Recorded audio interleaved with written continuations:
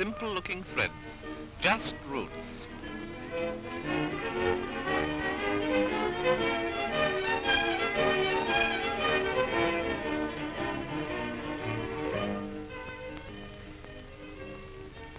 By marking a living root with dots, we can show that the growth, however rapid it may be, all takes place in a short section just behind the tip.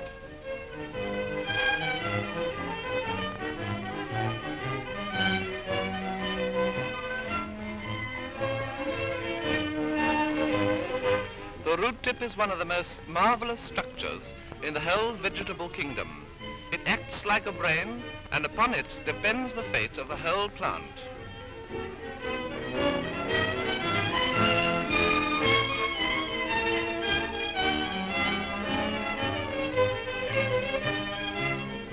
The plant in return takes special care of the root tip. From worn out cells of the tip, a jelly-like covering is gradually made.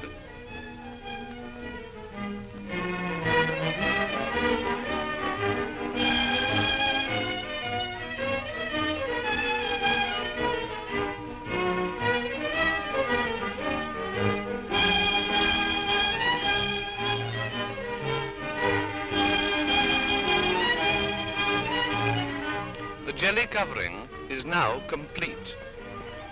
Here we have gritty soil very much magnified. Notice how the covering protects the root tip as it passes through.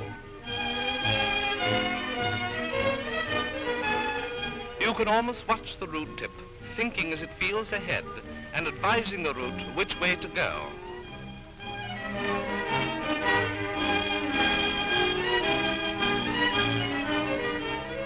In an empty space, its advice is evidently feel for something. In bright light which is injurious, it says turn away.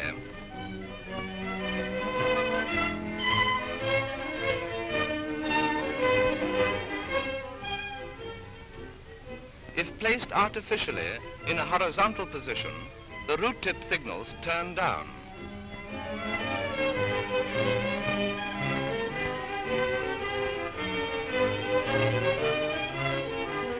If the root grows into the air, which is very harmful, the root commands go back.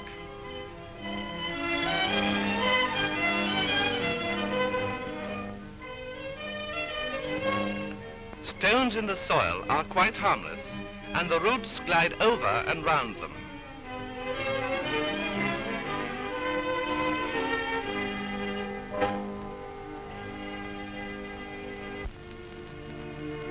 Notice how the tip senses copper in a cartridge case and guides the root away from the poison.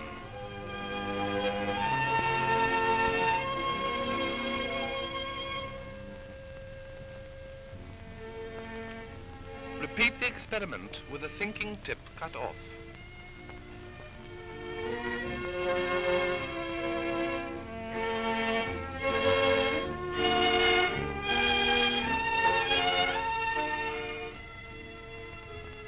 But the root can replace its lost tip and stops its downward growth within one hundredth of an inch of death.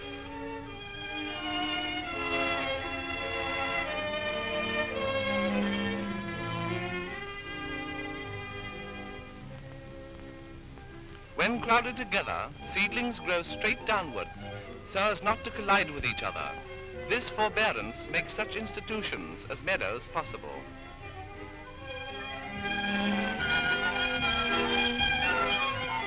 And now that they are obliged to put out side roots, they take care to get in one another's way as little as possible.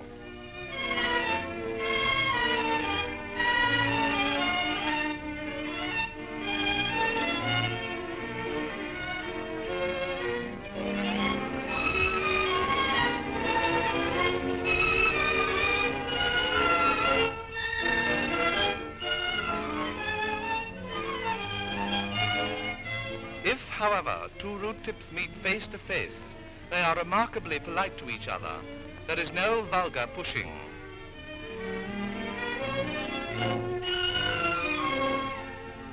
The part of the root that has ceased to grow in length develops side shoots.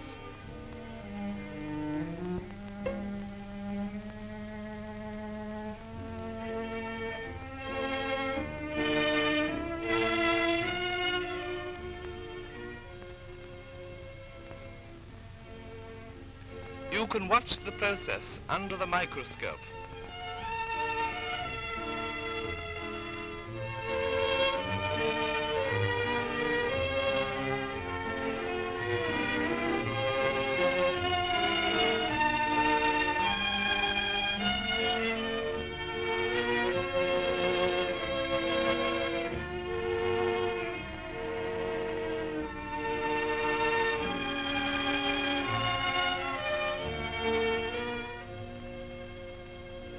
As soon as the root ceases to grow, it develops root hairs.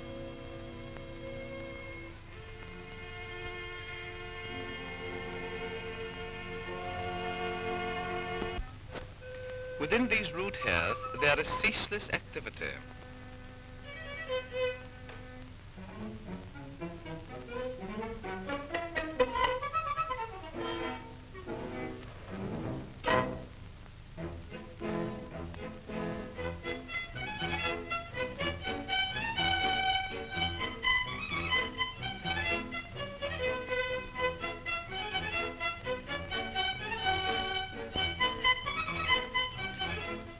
Hairs push between the particles of soil to take from it the liquids that the plant needs for food. I'll show you how they do it. Here I have a funnel closed at the bottom with the skin of an egg and filled with colored water to which sugar has been added. Now I fasten this funnel over a beaker and fill it up with pure water.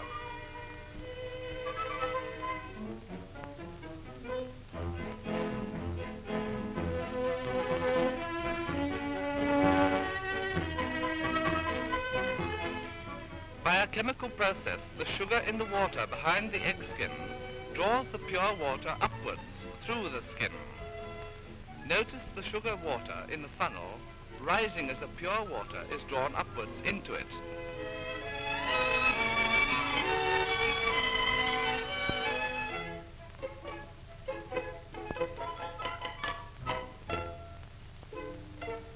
In the same way, the root hairs, whose walls are very like egg skin, develop sugar inside, and by this means draw in from the soil the liquids needed by the plant.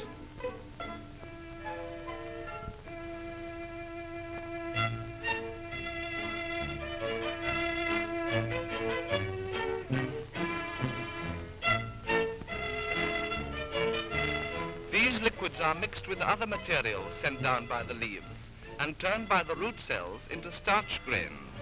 On the screen is a starch factory in full swing, but for you to get some idea of its activity, we have speeded up the movement 1,000 times.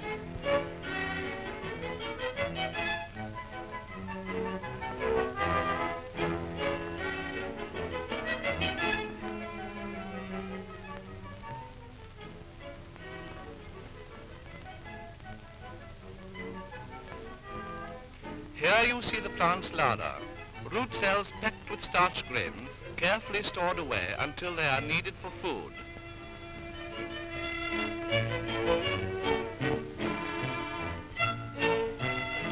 A plant such as the carrot can store away so much food in its root that next year, by just drawing on its starch reserves, it can produce an entirely new plant.